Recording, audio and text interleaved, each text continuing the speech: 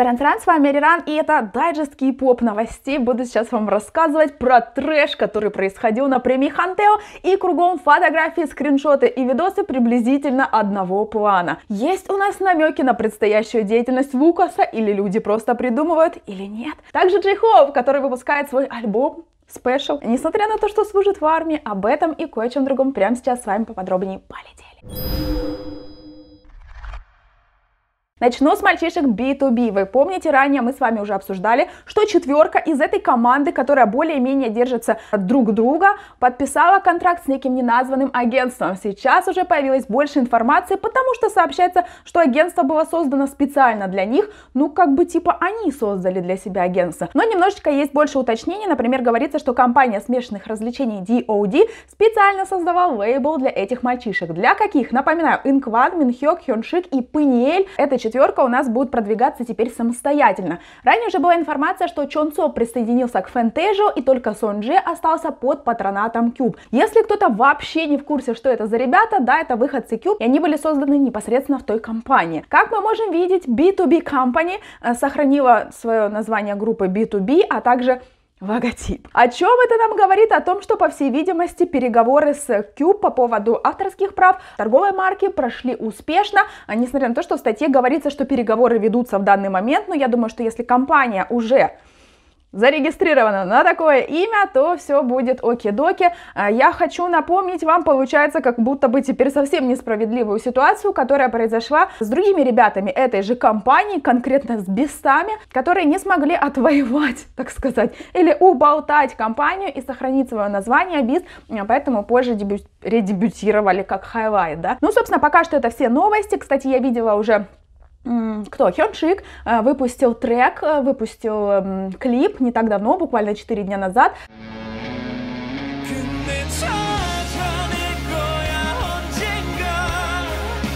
Так что уже существует даже канал, собственно, YouTube, где я это все дело накопала. Возможно, есть уже и другие социальные сети, я не перепроверяла, так что ребята полным ходом начинают э, снова как бы вливаться в свою творческую деятельность уже под крышей новой компании.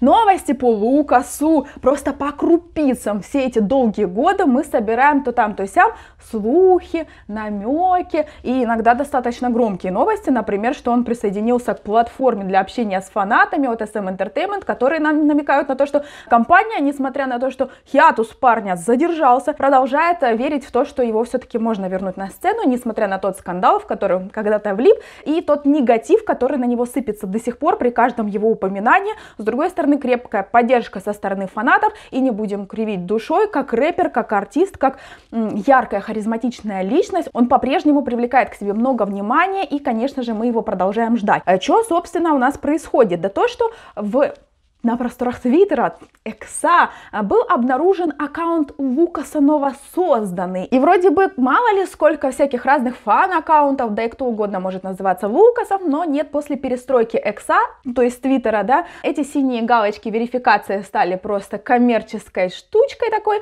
а, а для реальной верификации используются теперь некие другие галочки, и, собственно, там идут отсылки к определенным компаниям, которым принадлежат те самые верифицированные аккаунты. Это может можно посмотреть на примере канала NCT, то есть у нас идет отсылка к SM Entertainment, и вот появился канал Лукаса, который верифицирован в непосредственной связи с SM Entertainment, поэтому многие думают, что в скором времени этого парня мы увидим сольно. Я об этом не говорила, но, по-моему, на концерте Кибома, то есть Ки и Шайни, произошло некое взаимодействие Кибома, во-первых, со всеми остальными братьями по агентству, которые поддерживали его в зале, и также он приветствовал Лукаса и поддержал его непосредственно непосредственно со сцены, получается, как бы тоже подставляя ему плечо и публично заявляя, что этот парень от нас никуда не денется.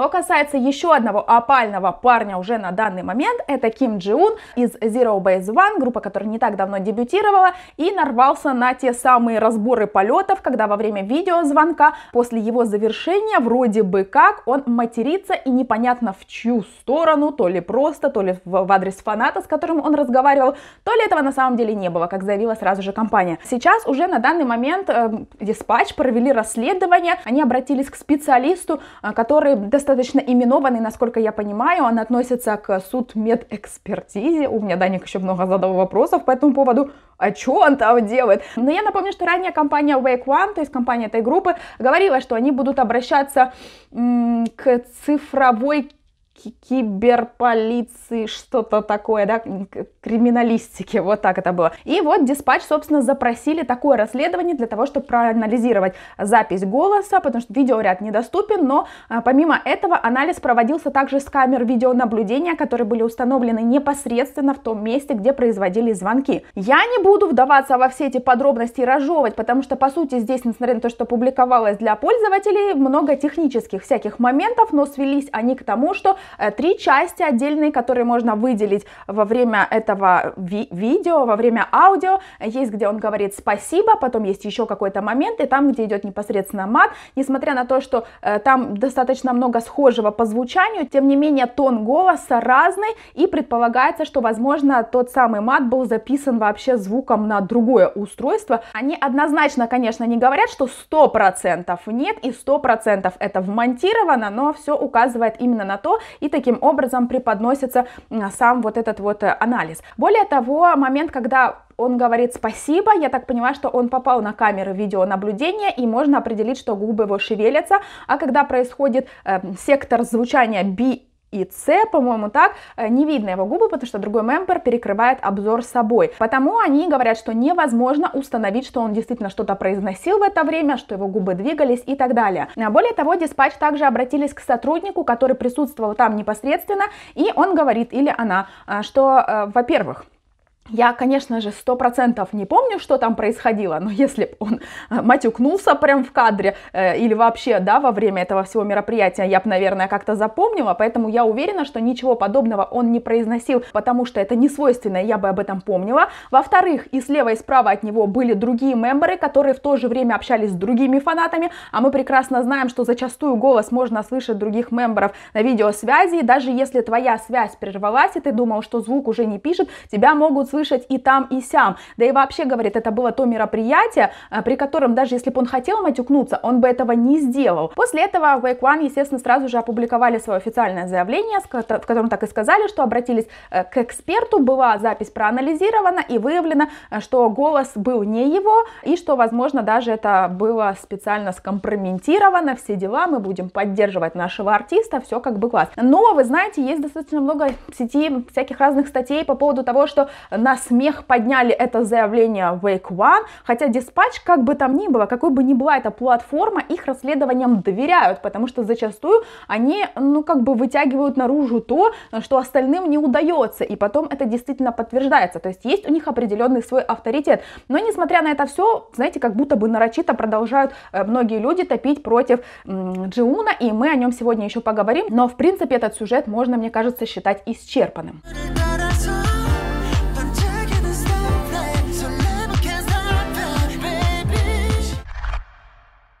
Hanteo Music Awards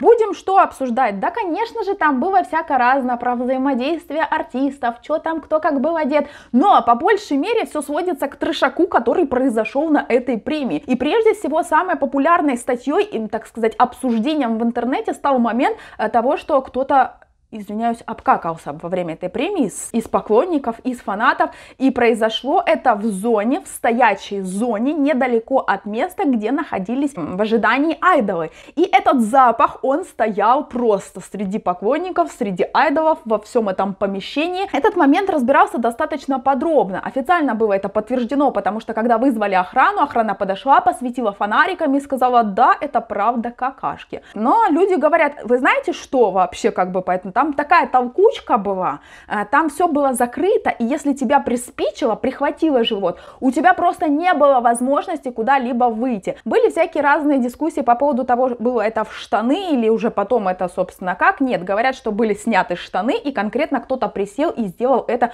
ну, потому что не в моготу было терпеть. Также ходили разговоры всякие разные, что этот поклонник, который навалял кучку, он опубликовал твит, в котором по поводу этого всего извинился, но потом это не подтвердилось, вроде бы как просто вместо него кто-то решил вот так поприкалываться. Но, ребята, это не все, потому что эта премия отличилась просто капец, ибо в средней зоне, в стоячей тоже, какой-то мальчик э, младшей школы, то есть совсем вот прям ребенок, э, он взял и пописал, вот просто взял и пописал вот, ну, где он стоял. И после того, как люди, которые там находились, стали звать охрану и говорить, блин, а что нам теперь делать? Тут в уже, тут воняет. Охрана сказала, ну, блин, а уже ничего не сделаешь раз, а во-вторых, может, это даже к лучшему, не будете так толпиться, и поэтому можно представить, какая вонь там стояла. Потом, ситуация там произошла с презервативами, они были обнаружены в мусорном баке, но дело в том, что достаточно много было упоминаний от разных лиц в интернете о том, что они были свидетели э, некого полового акта, прям стоя, прям в стоячей зоне, где-то там в каком-то месте,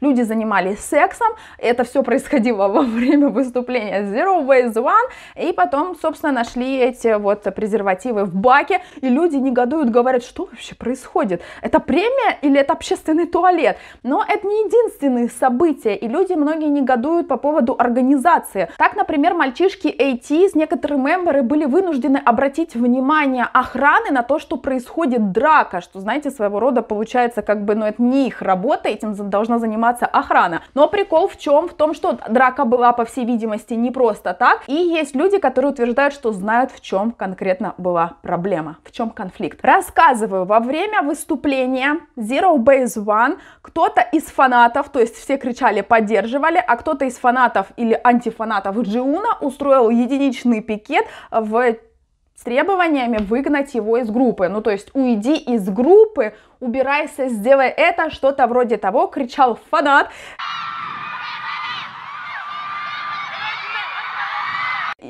или не фанат, да, и в свою очередь защитники Zero Base One сказали, а ну-ка иди сюда, и началась там потасовка. Говорят, что наваляли люлей тому, кто, собственно, выкрикивал э, той девушке, женщине, которая требовала отправить в отставку мембера группы Zero Base One. Были разные другие упоминания, например, то, что девушка, по-моему, это была девушка, она мастер фан-сайта, делала снимки, что-то там произошло, упала на нее какая-то световая палка, и она потеряла сознание. Но говорится о том, что было ли это и какие-либо доказательства в сети, фотографии или массовые упоминания, такого не было, об этом достаточно скромно, то там, то сам упоминали. И, ребята, я, честно говоря, в шоках, как одна премия. Мы думали, что с СБС у нас ужасы закончились. Нет, ребята, Гандео в этом году выделились больше всех. Yeah, really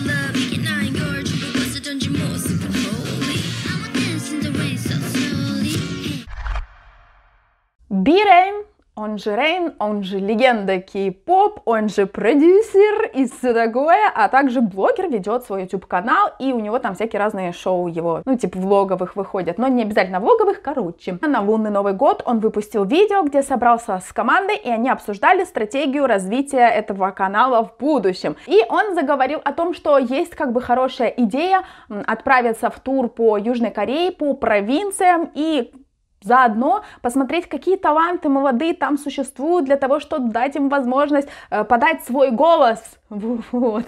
Ну да, и сразу же тут в сети люди как это услышали, вспомнили ему и M Black. Ребята, я до сих пор горю по M Black. Я сохраняла себе их клипчики для того, чтобы монтировать это видео. И такая, боже, как можно было загубить такую шикарную группу? Я хочу сказать, что, э, да, если кто-то еще не понял, Рейн ее продюсировал. И дело в том, что она в начале была мощной, яркой, достаточно на ушах у всех. Да, они входили в топовых артистов кей-попа, а потом в какой-то момент просто взяли их, смыли в унитаз, по-другому никак не скажешь. И костяк там был, там каждый мембер был особенным, э, ярким, запоминающимся.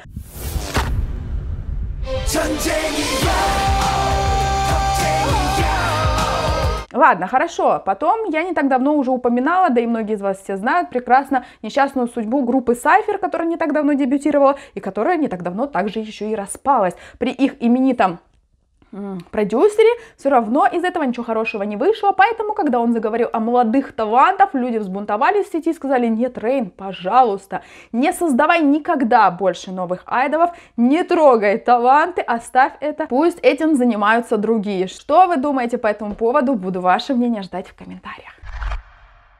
Хочу прямо сейчас благодарить Айвенка, кто стал спонсором этого новостного выпуска ванильный коть. Сообщение мне от тебя. Две недели до весны. Было прислано 6 дней назад уже меньше, уже неделя, а, вот, так что я просто как бы, да, это не ванильный коть, это я так опоздала, но да, я чую уже весну, ребята, мне кажется, она так близко, как у вас, как в ваших городах. Погодка и в ваших сердцах, самое главное, чувствуете ли вы уже приближение весны, ванильный кот, тебе спасибо большое за поддержку меня, а, канала и, да, таких напоминаний о том, что а, Spring Day наступит ближайшее время, и что весна, она все равно придет. Отправляю тебе вот такие вот небольшие сердечки, как я уже говорила ранее, несмотря на то, что они небольшие, а в них вложена моя большая благодарность, и вот такая персональная, огромная Саранхэ отправляется тоже тебе. А теперь возвращаемся к новостям.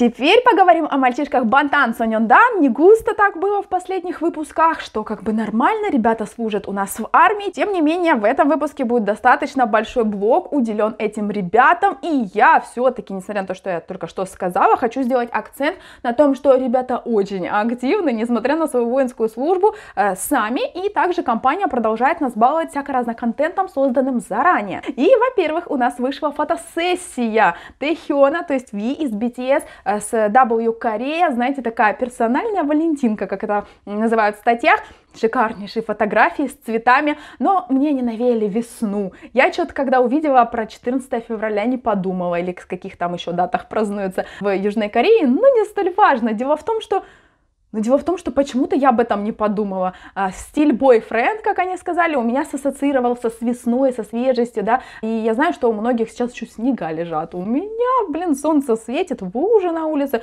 У меня прям весна, весна. Ничего не знаю, хотя, может быть, будут еще заморозки. Поэтому я с удовольствием посмотрела эту фотосессию, вышли некоторые небольшие видео. Кстати, недавно Тахион объявился на Виверсе и сделал промежуточный отчет по поводу своего веса. Я напомню, что некоторое время назад он публиковал фотографию с весов, где было 63 с небольшим э, килограмма, что достаточно мало, и люди по этому поводу переживали, что он ну, как бы сильно похудел. Более того, перед тем, как зачисляться на воинскую службу, ребята проводили, да, этот весь совместный, даже не влог, а совместную такую посиделку, э, где Тэхён поделился, что в данный момент времени он уже 62 килограмма весит, но планирует быть 84. Так, кажется, он сказал после того, как вернется из армии. Короче, мы с вами это уже обсуждали. Чего? Поделился он промежуточными своими успехами. Сейчас скажу вам точную цифру, которую он назвал. 72 килограмма с половиной. Я вернусь, написал он и отдал нам всем честь. Или кому? Ну, в каком смысле? Ай, блин, как звучит, да?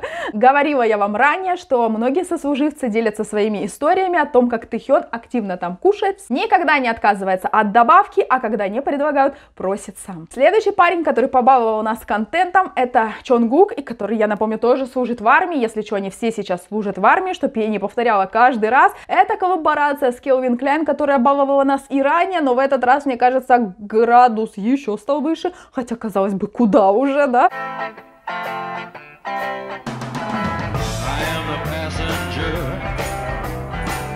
Нет, вы посмотрите на эти шикарные видосы, шикарные фотки. Я вам покажу, какие мне нравятся больше всего. Во-первых, в капюшоне, а во-вторых, конечно же, та самая. Вот эта вот, которая стала мемом. Нужно ли мне говорить, что он заполонил весь твиттер, весь интернет всякими разными прикольными эдитами от армии. И, честно говоря, пока смотрела, прям ржала-ржала. Я не сижу в твиттере, я так часто вам говорю, что там обсуждают сям. Нет, но когда обсуждают, это добирается в новости, и я вижу это в новостных заголовках.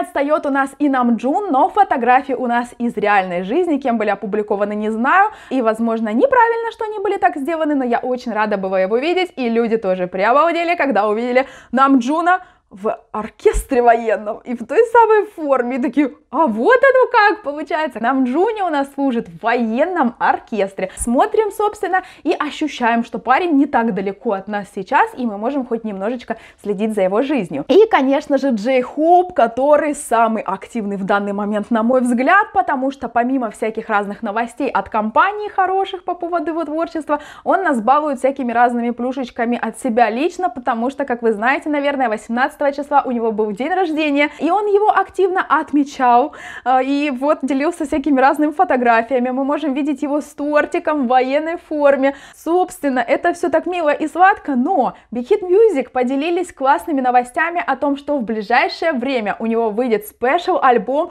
куда войдет как минимум 6 треков, а также выйдет документальный сериал. Ребята, там будет 6 серий, насколько я понимаю, 2 серии будут в неделю появляться по полуночи.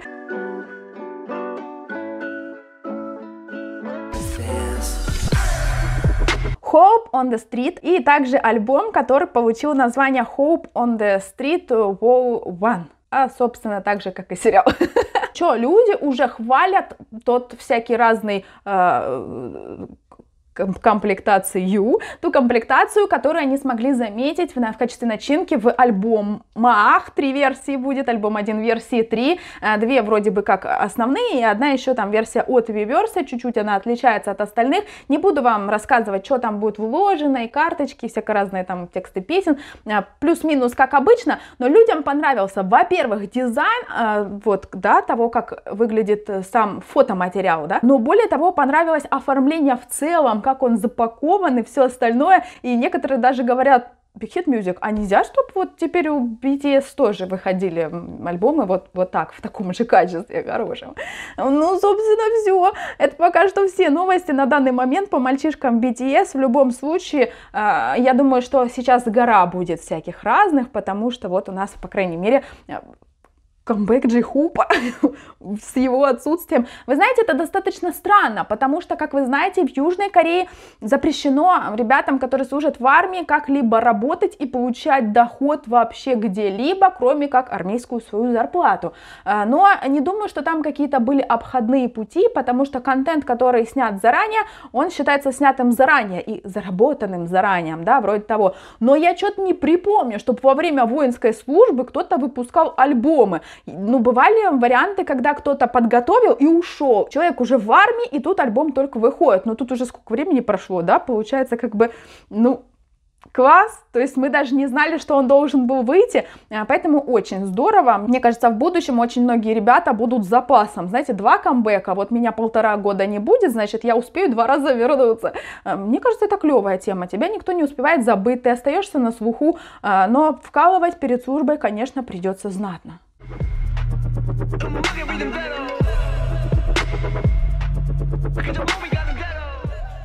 Up on the street. И напоследок поговорим про Чунина, Кая из EXO, а конкретно SM Entertainment. Я напомню, что этот мальчик тоже служит в армии, и я очень жду его возвращения. Была статья о том, что он появился не так давно, ну как, уже давно, э, в кафе сестры своей, да, мы в принципе его видим то там, то сям, на фотографиях, на мероприятиях, где-то он светится, ну вот как бы, да, у него же выходные есть и все дела. Но я об этом думаю, ну ладно, не скажу. И что вы думаете, вот тот выпуск, в котором я это не рассказала, сказала, но думала, что можно. После этого очень активно от Эричек на моем канале стали появляться вопросы, а как там Кай? А почему про него не слышно? Что, вообще пропал? переживаем, волнуемся. И мне приходилось вручную каждый раз писать, что да нет, говорят, он недавно был в кафе сестры, говорят, что настроение у него было спокойное, расслабленное, умиротворенное, хорошее, что выглядит он тоже прекрасно, все дела, так что не переживаем. Вот вернулась новостью по поводу его штанов. Неожиданно, да? Собственно, SM Entertainment выпускают мерч с кусочками штанов э, Чонина, в которых он был во время своего сольного концерта. И что очень спросом пользуются. Э, вы знаете, насколько кусков распилили? 1130. Вот мне интересно, почему такая цифра? Это был такой заказ? Или вот, ну, как порезали, так и получилось, собственно. Сколько получилось, столько и продаем.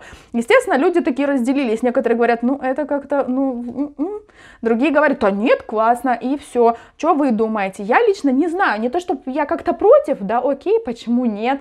Но если бы это были какие-то нестиранные штаны, да, вот этот весь фетиш, э, ну это как бы... Но мне было бы ближе, вот я бы, наверное, купила, если бы это, например, была куртка мои внутренние ощущения, мне даже сложно объяснить, почему так. Э, хотя Чунина, конечно же, ну я не знаю, штаны и штаны, а куртка это уже другое. Куртка там, даже не футболка. Вот если была бы джинсовка, куртка, в которой он выступал, вот чтобы как-то, знаете, чувствовать не только с Каем, а кон- с конкретным событием, значимым в его жизни, которое происходило, вот как мотиватор, что ли, да, что все мечты осуществимы, а вот такие заряженные вещички, вот что-то такое я бы себе хотела, возможно. Напишите, хотели ли бы вы, но, естественно, на почве вот этих вот придумок SM Entertainment люди сказали, ой, не придумки, подождите, им еще далеко до Лисумана, я напомню, что Лисуман Суман, создателя Sam Entertainment, которого прогнали. Он ранее придумывал еще более кринжовые штуки. Так, например, артисты хат, вы же помните, да, они э, сдавали кровь и волосы с разных частей тела для того, чтобы, собственно, их ДНК можно было продавать в качестве мерча. Но я сейчас вас буду успокаивать, все не так плохо и никакие биологические частицы в эти кулоны, это были, кажется, кулоны или какие-то украшения, не попали, потому что этот вот весь, значит, багаж их анализов э, был обработан, воссоздали их ДНК, и вот непосредственно это уже было в качестве э, отпечатка выгравировано, да, или вот так сказать, отпечатано на металле, поэтому э, все там было в рамках приличия, но просто насколько идея, да, сама идея, и Люсуман постоянно делает такие штуки, и в этом, наверное, его фишка, а, хоть и какая-то, знаете, казалось бы, дуристика, но с другой стороны, это позволяет э, делать что-то, что, чего нет у остальных. Вот ты придумал 10 кринжовых штук, одна зашла, вот, а остальные уже будут повторять, поэтому я считаю, что это достаточно прикольно. Так что со штанами Чонина, да и в принципе были у нас ранее всякие разные приколы с одежками перепроданными, все дела. Я ничего удивительного не вижу, если бы это была курточка, например, я бы прям себе хотела что-нибудь такое. Напишите, как вы, хотели ли бы вы, э, ну, во-первых, с Чонина, нам себе и с его штанами какой-нибудь брелочек, или если у вас есть свой биасик, и вы себе хотели его кусок штанов, или кусок одежды, или ДНК, может быть так.